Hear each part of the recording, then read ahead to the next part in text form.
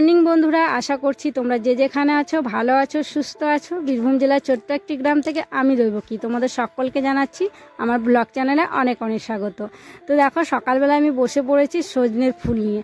আজকে যখন সকালবেলা দরজা খুলে বাইরে যাচ্ছি, তো দেখছি আমাদের একটা সজনের ডাল ভেঙে পড়ে আছে। তো আমি ফুলগুলোকে ছাড়িয়ে নিলাম আর আজকে বানাবো সজনের ফুলের বড়া। তো ভালো করে বেছে নিয়েছি, বাছার পর দেখো একটা পোকাও বেরিয়েছে।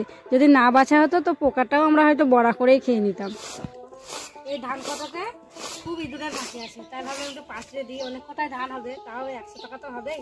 তাই ভাবলি ভাবছি যে এই ধান কটা নষ্ট হয়ে যাবে, একটু পাশে চাষে দিচ্ছি, ইঁদুরে যেগুলো খেয়েছে এই যে খোসাগুলো বেরিয়ে যাচ্ছে, আর মাটিগুলো এই যে ধরে দিচ্ছি আর বাকি ধানগুলো যেগুলো ভালো ধান থাকছে, সেগুলোকে বিক্রি করতে যাবে, তখন দিয়ে দেবো। যে আমি বলছি যে এই ধানটা বিক্রি করে যা টাকা হবে, আমাকে এই এই টাকাটা দিওয়াতে বলছি কত মাটি দেখছ যে কোথা থেকে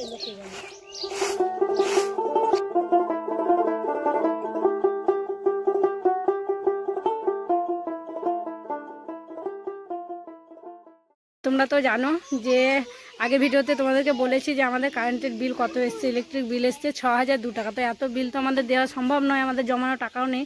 তাই এই ধান বিক্রি করেই দিতে হবে। নোটিশ এসেছিল কালকে যে বিল না দিলে পরে আজকের মধ্যে কারেন্ট কেটে দিয়ে যাবে। তাই বাধ্য হয়ে ধান বিক্রি করতে হচ্ছে। আর বাবা বলছে যে ধানগুলো বিক্রি করতে ময়া লাগছে।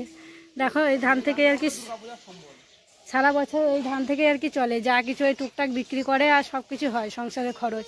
তো একেবারেই অনেকগুলো ধান আজকে লেগে যাচ্ছে, অনেকগুলো ধানই বিক্রি করতে হবে। ছ হাজার টাকা মানে বুঝতেই পারছ। কি করে যে এই বছরটা চলবে কিছু বুঝতে পারছি না। আর এদিকে দেখো ছেলেগুলো সব বাচ্চাগুলো খেলা করছে। আর ওই যে ওরা রান্না করছিল, রান্না হয়ে গেল রুদ্র? ওই বড় কড়াইটাকে দুজনে মিলে ধরে স্টোপের ওপরে চাপালো, চাপিয়ে যে আলু টালু, জল টল দিয়ে রান্না করছে আর খেলা করছি। রান্না হয়ে গেল? কি রান্না করলা? মাংস। ও আমাকে দিবা তো? গুনো গুনো কত আছে গুনো? এক দুই তিন চার পাঁচ ছয় সাত আট নয় দশ এগারো। এগারো মনে হচ্ছে পাঁচ হাজার পাঁচশো। হাজার কুড়ি। পাঁচ হাজার পাঁচশো কুড়ি টাকা। পাঁচ হাজার পাঁচশো কুড়ি দেখো অতগুলো ধান বিক্রি করে এসেও ছ হাজার টাকাও বুঝলো না। এখনও অন্য দিক থেকে এদিক সেদিক করে জোগাড় দু হাজার লাগবে হুম। আজকে তো যাওয়া হবে না নাকি? আজকে যাব কখন আর বারোটা একটা বাজলে মনে হয়। কালকে যাবে তাহলে। আচ্ছা, আজকে যাওয়া হতো না এখন দু হাজার টাকা ব্যবস্থা করি। সোমবার অবধি ডেট দিও সোমবার অবধি। সোমবারের মধ্যে জমা না করলে কেটে দিয়ে যাবে। কত করে কুইন্টাল সাড়ে উনিশশো। কমে গেছে একুশশো ছিল। বিপদের সময় বিপদ। ব্যবস্থা করতে হবে আর দু হাজার টাকা। হুম। চলো, আমি ওদিকে রান্না বান্না বসিয়েছি, আর তোমাদেরকে বলছিলাম না, সজনে ফুলের বড়া তোমাদেরকে তো দেখিয়েছি, সজনে ফুল। তো দেখো, মিক্সিতে ভরে নিয়ে এলাম, কিন্তু ইয়ে নেই কারেন্ট নেই। আমার খেয়ালই নেই যে শাটডাউন আজকে। কারেন্ট সকাল থেকে কারেন্ট নেই, জলও নেই, জলও তুলতে পারিনি। তখন শিলে বাড়তে হবে না, কী করব? এই যে সজনে ফুল। চারটে টমেটো সিদ্ধ করেছিলাম। তো টমেটোটা দেখো, কাঁচা পেঁয়াজ, কাঁচা লঙ্কা, কাঁচা তেল দিয়ে মাখাচ্ছি, আর এখনই তো আমার জিভের জল চলে আসছে। সত্যি দেখো, লাল টুকটুকে মনে হচ্ছে যেন এক্ষুনি খেয়ে নিই। সত্যি টমেটো সিদ্ধ খেতে না আমার খুব ভালো লাগে। চাটনির থেকে সিদ্ধটাই ভালো লাগে। তাই ভাবলাম আজকে একটু সিদ্ধই করি। তো দেখো, টমেটোটা আমি এখন মেখে নিচ্ছি, ভালো করে চটকে চটকে মেখে নেব এবার। তো দেখো, রান্নাবান্না কমপ্লিট হয়ে গেছে, আর রুদ্রবাকে খেতে দিয়ে দিলাম, কারণ ও ওর মানে সারাদিন খাবার জোটেনি, সেই যে ধান নিয়ে গেছিল, না খেয়ে গেছিল। দেখো এদিকে রুদ্রকে খেতে দিলাম। রুদ্রের সঙ্গে খেলা করছিল, রুদ্র একটা বুনু। রুদ্রের বুনুকেও খেতে দিয়েছি। আর এদিকে খাচ্ছে মা। আর আজকে কী কী রান্না হয়েছে তোমরা তো আগে বলেছি তোমাদেরকে। আর এদিকে ভাগ্নি। বাবা এখন গেছে স্নান করতে। আমাদের টাইম কলে জল দেয়নি, তাই দেখো আমরা সবাই মিলে এক দল যাচ্ছি ওই আদিবাসী পাড়া থেকে জল আনতে, টিউবওয়েলে। আর এই ভাগ্নি গেছিল, দিদি গেছে আগে। যে ভাগ্নি নিয়ে এলো, দেখো এক ঝোলা বোতলগুলো সব নিয়ে গেছিল। আমি নিয়েছি বালতি। দিদিও আগে আরও বোতল আছে, ওগুলো নিয়েছে আর বালতি নিয়েছে। তো চলো, যাই, আর আদিবাসী পাড়াটা তোমাদের সাথে শেয়ার করব। আয় আয়!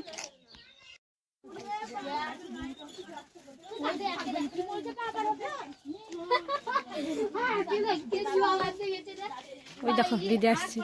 সামনে ঘরগুলো সব আদিবাসীদের। এই যে পুকুরটা দেখছ? এই পুকুরের পাড়ে যে ঘরগুলো আছে, সব আদিবাসী। কি সুন্দর দেখো এদের দেওয়ালগুলো একদম পরিষ্কার ছাই দিয়ে নিকেছে তাও কত সুন্দর চকচক করছে। মনে হচ্ছে যেন পাকা।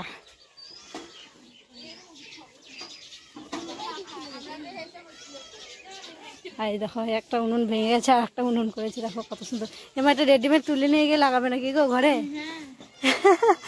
বস্তার উপরে করেছে নিয়ে গিয়ে ঘরে পাতবে। তো দেখো বন্ধুরা, আমরা এক এক করে জল ভরতে শুরু করলাম। তো এক এক করে সবাই জল ভরে নিই, তারপর তোমাদেরকে বাড়ির ডিজাইনগুলো দেখাচ্ছি। এই আদিবাসীদের ঘরগুলো দেখো, কি সুন্দর ডিজাইন করা। কিন্তু এই ডিজাইনগুলো না অনেক দিনের, তার জন্য কেমন হয়ে গেছে। কিন্তু আবার যখন এরা নতুন করে করে না, খুব সুন্দর লাগে এই ডিজাইনগুলো দেখতে। একদম দেওয়াল তেওয়াল একদম চকচকে, একদম পাকা ঘরকেও হার মানায়। আর এই যে জানলাটা দেখো, কত সুন্দর রং করা। খুব ভালো লাগে এদের বাড়ি ঘরগুলো দেখতে। আমার প্রথমে জল ভরা হয়ে গেছিল, তো ওরা যখন জল ভরছিল, আমি তোমাদেরকে ডিজাইনগুলো দেখাচ্ছিলাম। তো দেখো, সবার জল ভরা গেলে আর এক এক করে ভরতে না অনেক টাইমও লাগল। সবাই দেখো, অনেকগুলো বোতলও নিয়ে এসছে, বালতিও নিয়ে এসছে। তো বন্ধুরা, আমার ভিডিও তোমাদের কেমন লাগে জানি না। তো প্লিজ তোমরা তোমাদের মতামতটা জানিও, আমার ভিডিও দেখে ভালো বা খারাপ যাই লাগুক, তোমরা কমেন্ট করে জানিও। আর আমাকে একটু সাপোর্ট করো আমার পাশে থেকো।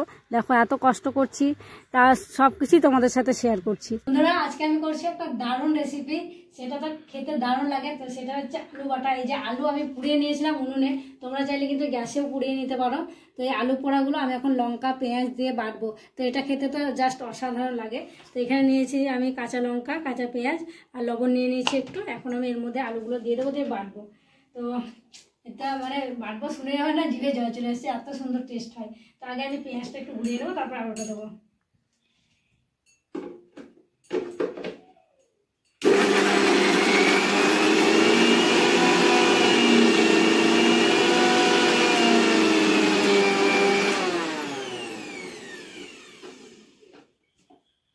পেঁয়াজটা একটু করে নেব আমার ভাঙতে চাই না নিলে একটু লেলি টাইপের হবে তো আলুটা তার জন্য। চলো এবার আমি দিয়ে দিলাম আলু আবার ঢাকনা বন্ধ করে এবার একটু ঘুরিয়ে নেব। আলু বাটা রেডি হয়ে যাবে।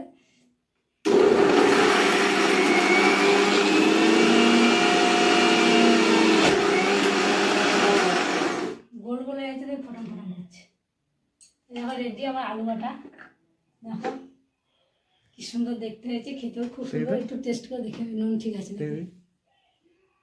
দারুণ লাগছে তো। কিন্তু একটু আমাকে দাদা। ঝাল ঝাল দারুণ। ভালো? হ্যাঁ হ্যাঁ আখে গুলি ভালো। জমে যাবে তো ভাত। চলো বন্ধুরা আজকে ব্লগটা এখানে শেষ করছি। তোমরা সকলে ভালো থেকো সুস্থ থেকো। দেখা হবে আবার নতুন একটি ব্লগে আজকে ব্লগটা কেমন হলো অবশ্যই কমেন্ট করে জানিও। আমার চ্যানেল নতুন হয়ে গেলে চ্যানেলটিকে সাবস্ক্রাইব করে আমার পাশে থেকো। আর আলু বাটা করে তোমরা খেয়েও খুব ভালো লাগবে। দেখো হুম। বাসি ভাত দিয়ে আর ভালো জল ছাকা ভাত দিয়ে